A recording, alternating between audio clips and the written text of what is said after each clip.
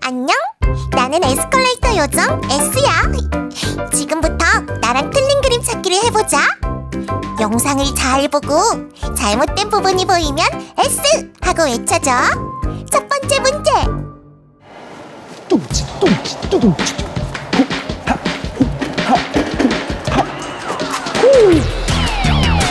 자, 잘못된 부분 찾았 에스컬레이터를 타고 이렇게 장난을 치면 안 되지. 특히 이런 고무 재질의 신발을 신었을 땐 더 조심해야 해.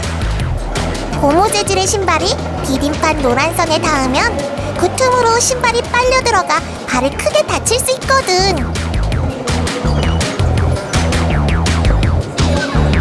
좋아, 두 번째 문제. 아 그걸 깜빡했네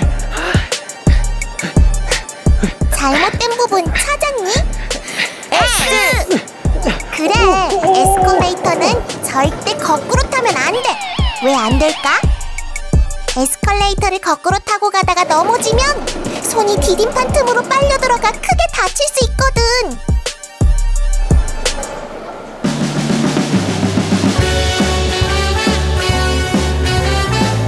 노란 선은 밟지 말고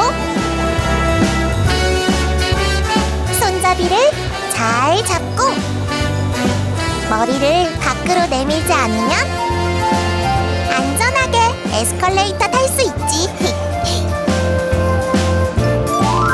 그럼 모두 안전하게 에스컬레이터 타기로 S랑 약속.